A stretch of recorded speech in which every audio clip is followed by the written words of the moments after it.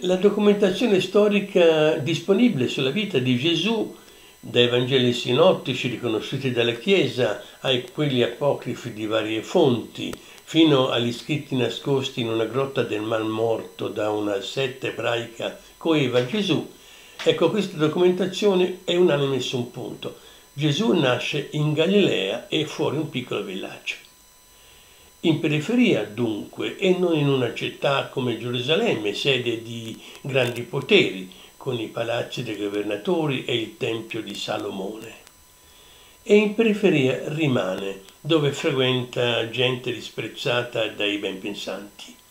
pubblici peccatori come erano giudicati allora gli esattori fiscali, i lebrosi, prostitute, beoni, insomma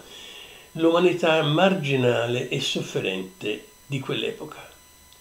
È in tutta coerenza questo profeta che taglia il tempo della storia in due, prima di Cristo e dopo Cristo, muore su un colletto fuori Gerusalemme,